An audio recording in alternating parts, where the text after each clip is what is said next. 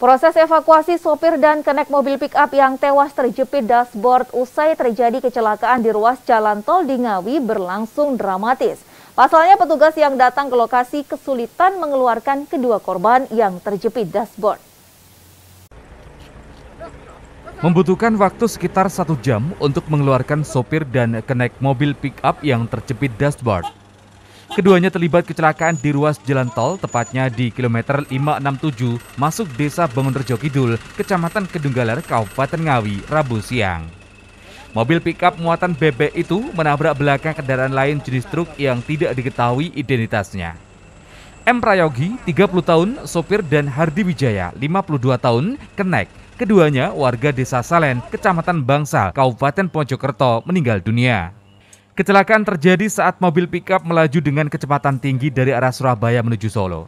Setibanya di lokasi, diduga pengemudi mobil mengantuk dan menabrak belakang kendaraan lain jenis truk yang tidak diketahui identitasnya. Kerasnya benturan mengakibatkan kedua korban tewas terjepit dashboard. Untuk kronologis tersebut, kendaraan pickup Suzuki yang muatan bebek tadi uh, itu menabrak